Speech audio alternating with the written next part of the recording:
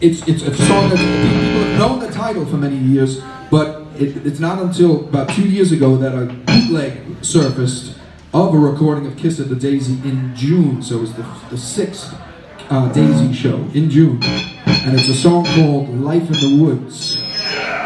Kiss never did it outside of 1973.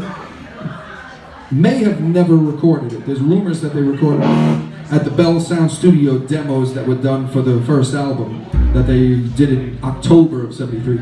There's rumors, but nobody can substantiate it. So up until a couple of years ago, this is the first time that this was heard on this bootleg. And as far as we know, nobody, we've never heard of anybody playing it. We're gonna play it right now. This is called Life in the Woods.